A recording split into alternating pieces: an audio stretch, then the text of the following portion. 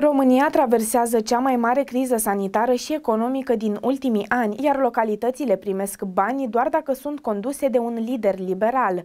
Deputatul PSD Mehedinți, Cornel Folescu, a reacționat dur împotriva acestui abuz în serviciu au fost alocați 80% din bani pentru administrația locală către localități cu primari PNL și UDMR. Se pare că Florin Câțu și-a plătit funcția la congres, iar restul românilor, peste 70%, au fost pedepsiți. V-am chemat în ideea de a vă exprima și eu prin intermediul noastră uh, revolta pe care o simt vis-a-vis -vis de ultima acțiune a lui Super Câțu, și anume această împărțire de la bugetul statului de bani pentru primarii uh, PNL.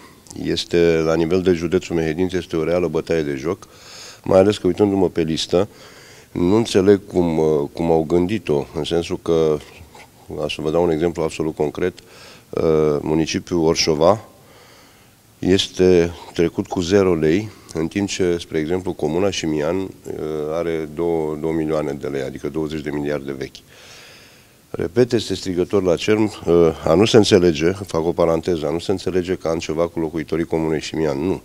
Este vorba strict de modul în care actualii guvernanți încă la Palatul Victoria au găsit de cuvință să împartă acești bani. Este o sfidare la adresa primarilor PSD, la adresa oamenilor care au votat PSD și a comunităților din care, pe care acei primari PSD le reprezintă. Astfel, cetățenii localităților care nu sunt conduse de un lider liberal sunt condamnați la sărăcie și foame. Deputatul PSD Mehedinți, Cornel Folescu, cunoscut drept un om implicat în viața comunității din care face parte, a tras un semnal de alarmă cu privire la acest aspect.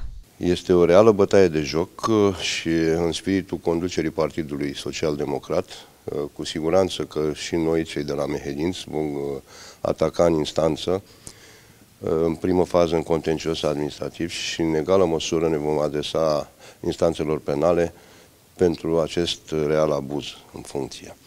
Uh, țin să-i asigur pe concetățenii noștri, indiferent de ce au votat, de culoarea lor politică, de faptul că uh, Partidul Social Democrat este un partid care nu ține cont de culoare politică, ține cont doar de necesitățile și de nevoile comunităților locale.